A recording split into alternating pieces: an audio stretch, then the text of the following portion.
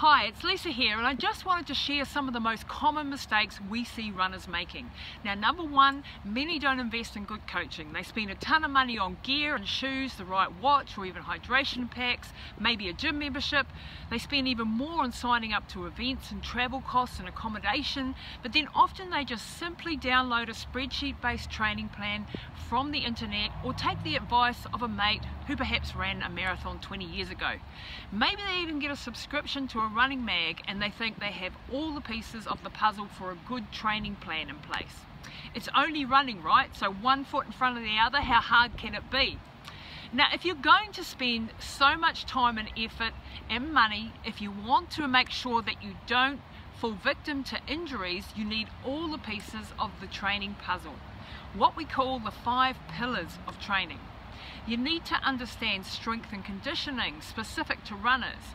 You need to understand mobility and flexibility workouts to avoid injury, to get full range of motion for a better running form, not to mention how it speeds recovery. You need to understand what type of run sessions you should be doing and when, and you need to understand how to read the signs your body is giving you on a daily basis you need guidance on everyday and race nutrition to keep the motor running smoothly on the best fuel possible. You also need to know how to hydrate properly and how to balance electrolytes and even supplementation guidance. You need to know what to do also when an injury strikes or how to stop that niggle from turning into a full, full-blown injury crisis. And you need to get your mind in the right space with mental preparation to improve your mental toughness and resilience. Now all of these things go into the ideal training plan and will help you avoid injury, avoid burnout or even adrenal exhaustion and hormone imbalances. Not to mention those horrible plateaus we've all experienced or motivation loss from exhaustion or stress.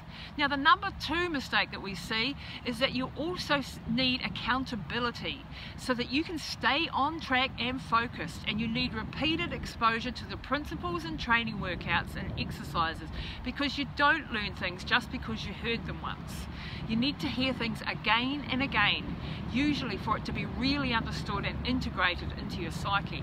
Now the third mistake that we see people making is that you also don't need as high a mileage as you might think you do or as recommended by the old traditional coaching methods that are perhaps great if you're a 20 year old elite athlete but will just blow to pieces if you're perhaps a mum or a dad with three kids, a full-time career and a hell of a lot of other stresses on your plate.